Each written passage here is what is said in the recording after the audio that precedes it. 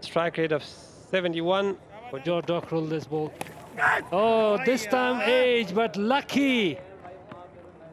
Missed the fielder and into the fence for four runs. Churian down the wicket. Six runs.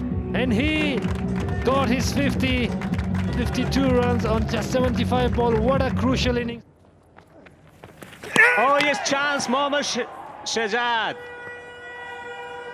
has done it. Later one delivery. Based on time. Oh. Have to give some respect.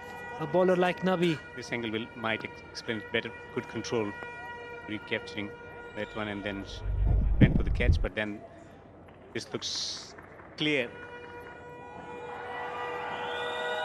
Mohammad Nabi breaking the partnership. It's 216 for 5. George Dockrell out for 54.